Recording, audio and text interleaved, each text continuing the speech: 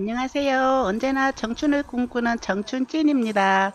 제가 우리나라 100대 명산 등정을 목표로 다닐 때는 계절도 없이 참 열심히 잘 다녔는데 목표를 이루고 나니까 깨가 나서 요즘은 산을 잘 안 가게 되네요.